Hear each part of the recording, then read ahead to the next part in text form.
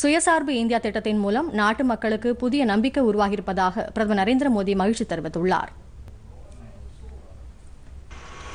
கிராமப்புறங்களுக்கான பிரதமரின் வீட்டு வசதி திட்டத்தின் கீழ் உத்தரப்பிரதேச மாநிலத்தைச் சேர்ந்த ஆறு லட்சத்து பத்தாயிரம் பயனாளிகளுக்கு இரண்டாயிரத்து அறுநூற்று தொன்னூற்றோரு கோடி ரூபாய் நிதியை பிரதமர் நரேந்திர மோடி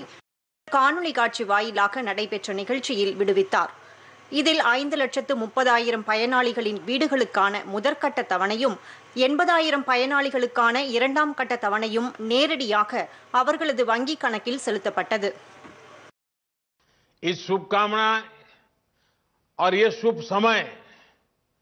उसमें आपका घर बनने के लिए धनराशि मिल जाए तो आनंद और बढ़ जाता है अभी कुछ दिन पहले ही देश ने कोरोना की वैक्सीन का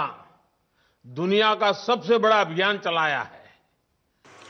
இந்நிகழ்ச்சியில் பேசிய பிரதமர் ஏழைகளின் வாழ்வில் வீட்டு வசதி திட்டம் பல்வேறு மாற்றங்களை ஏற்படுத்தியுள்ளதாகவும் இத்திட்டத்தின் மூலமாக கிராமப்புறங்களில் வேகமாக வீடுகள் கட்டித்தரப்படுவதாகவும் தெரிவித்தார்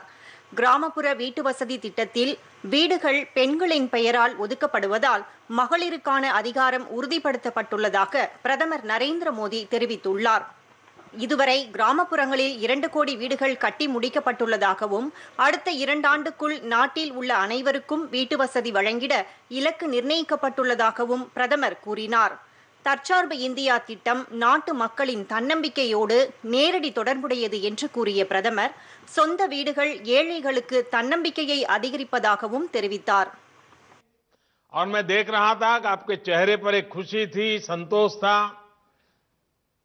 एक एक महान जीवन का बड़ा सपना पूरा हो रहा था ये आपकी नजरों में मुझे देखता दिखता था आपकी ये खुशी आपके जीवन में सुविधा भरे यही मेरे लिए सबसे बड़ा आशीर्वाद होगा